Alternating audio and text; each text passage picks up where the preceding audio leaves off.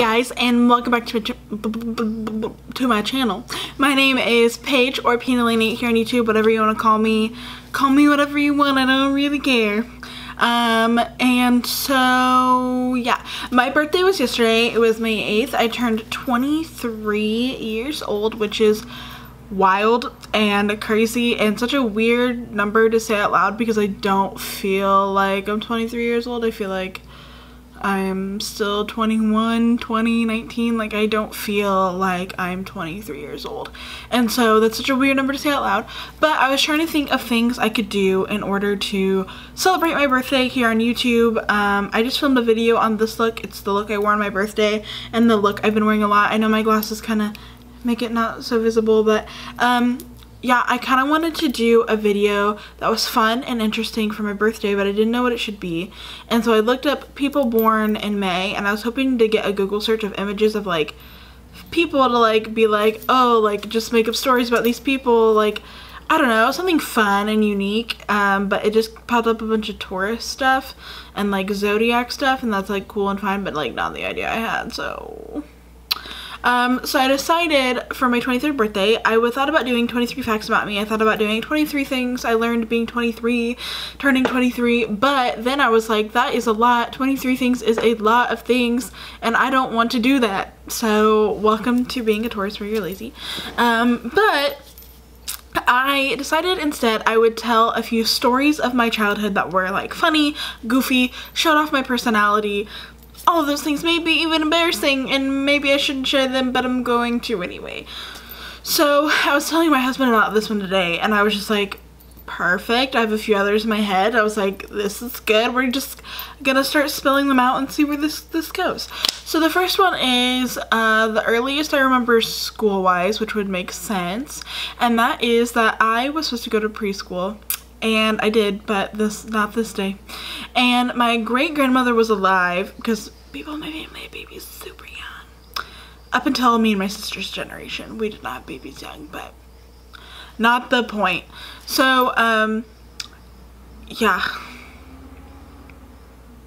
yeah. So my great grandma was the one that babysat us and took me down to the end of my driveway to be put on the bus to go to preschool which was a different school from the K through 12 school that I ended up going to K through 12 now um I was I am a very attached person. Like once I get attached to someone I'm like this is mine the claws are in they they not belong to me but they they're my human and i don't want anyone else to touch them and they are my human.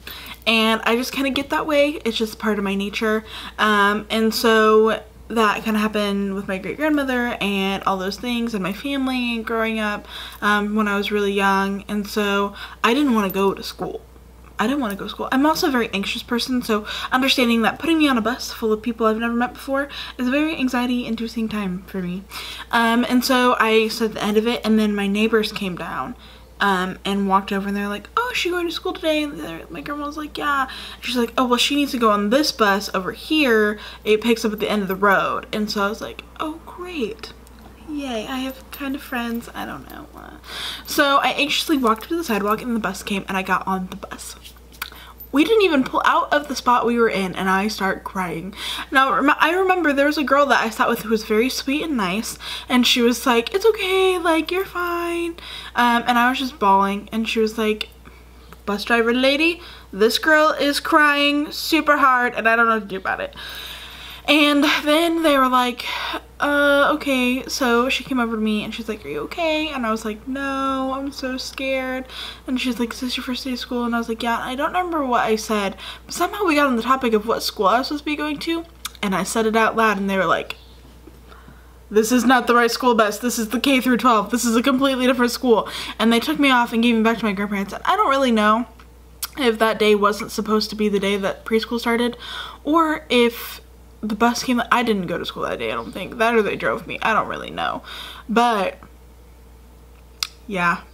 I definitely did not like that anyway so me crying got me off the bus which is a very good indicator for how the rest of my bus bus drives went the beginning of preschool because after that I would get off the bus and run back into my house Literally, they had to pick me up and my uncle put me on the bus and said, stay there. And I still got up as soon as he got off and ran off the bus. I mean, I ran off that bus and I did not want to stay on the bus. I was so scared. I was so scared. Um, but also, another thing that I did in preschool was that I wore the same dress to school like the first week.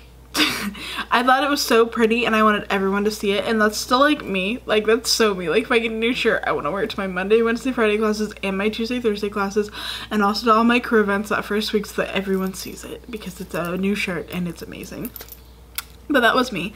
I for sure wore the same dress to school like the first week and my dad was like, they're gonna think you don't shower or wash your clothes. I was like, yeah, I care a lot about what other people think, so I guess I won't wear it.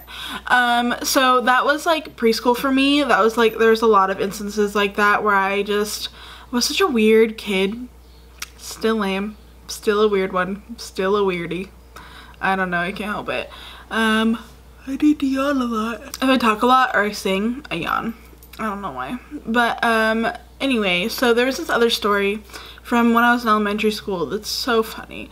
And First of all, another thing is that I peed my pants a lot in elementary school. I mean, a lot, a lot, a lot. Like, I would get in trouble in kindergarten. I peed my pants so often. Um, but that's not the point of this story, is it? No.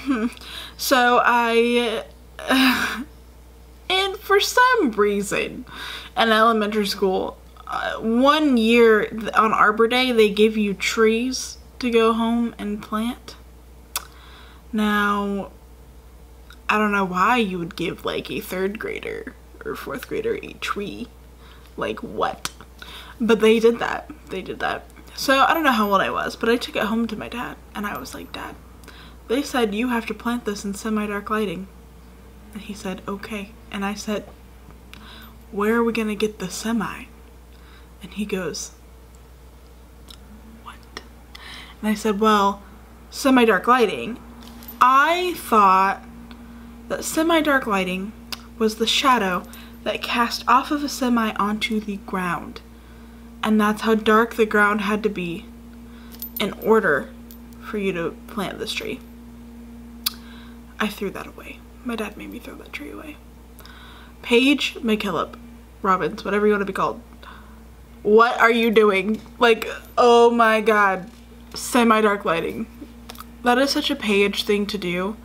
To think to say not as a this is a bonus story because it has nothing to do with me. But there was this girl in high school that walked in and she, we, like, for some reason, like, our student section for a little while was called Chaos. And if you look at the way chaos is spelled, it's not like a normal word. And this new girl in our school is like, what was, what's chouse? I was like, that's not what that means. That's not it. But it was really funny that she said that. Um, that's a story. What is an, oh, in third grade. Oh my god. This is so funny. So Glenn is Will's brother, and Glenn and I were in the same grade, and we graduated high school together. Which is so funny. And remember, it's third grade. And we had some of those rooms where like the wall came apart and it came into a bigger room. And we always went to those rooms to watch TV, like a movie or whatever, as a whole like third grade class, right? And so we do this. We go over there and Glenn is in front of me and keeps pretending he's gonna sit on my chair. And if you know anything about me, I can be a little possessive. It's a part of my nature. It's who I am. And so Glenn keeps pretending he's gonna sit on my chair. So finally he goes to sit on my chair and I pull it out from under, under him. He falls on the ground, but hits the floor. You know what happens? My teacher sees it. Paige, go to the hallway. So I walk out to the hallway, willy-nilly, whatever. And she comes out there and she goes, Paige, I saw what happened. And I said, it was an accident. And she says, it was an accident. And I go, yeah, I didn't know he was going to sit down. She's like, oh, you didn't know he was going to sit down on the chair. And I said, no, I mean, I just was pulling it up to pull it up so we could move along. And I didn't get in trouble for it. I'm, I'm sure she knew I was lying. Quite positive. But, um, that happened one time. This, like, video is so far 10 minutes long, and I am certain quite boring. Anyway, so I don't really know if I have any more like stories I can think of off the top of my head. I didn't plan this through. All I really thought of was the semi-dark lighting one and the preschool ones. Although here's something, is that in preschool, they gave you a little rug, okay, thing that went up in your cubby. And I remember I would cry, right? So my dad told me that if I didn't cry, he'd leave me a surprise. And then told me that there was a candy bar underneath my nap rug and then I went and it wasn't there and I thought for sure someone had stolen it. I was like, man. And then when I became an adult, I asked my dad about it. and He goes, no, there was never a candy bar. I just told you that so you would go over there and like not cry. And I'm like, great parenting. Great. Um, so yeah, those are all the stories I have for now. I'll save more. I'll think of more for when I'm 24 more stories for when I'm 24. Um, but yeah, those are just like the little ones that I'm like, I don't even know if that's relevant to anything, but it's something. And, um, yep. So be sure to give this video a thumbs up and subscribe to my channel if you haven't already. Uh, and I'll see you in the next one. Bye, guys.